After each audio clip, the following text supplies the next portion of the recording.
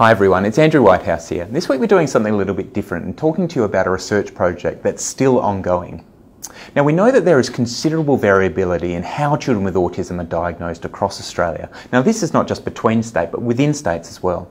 Now what this does, it creates significant inequity in access to services and that's not a good thing. Now we wouldn't accept this for any other condition and we shouldn't accept it for autism. Now in response to this, the Autism Cooperative Research Centre has partnered up with the National Disability Insurance Agency to commission the, the generation of Australia's first national diagnostic guidelines for autism. Now, while I'm chairing this process, it involves many talented and wonderful people across Australia.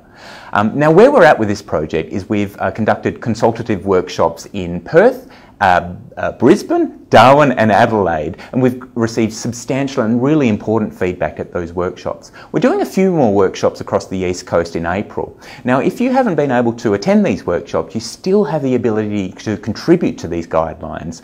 Um, and what you can do is email Kiah Evans on the uh, email address that's popping up on the screen now.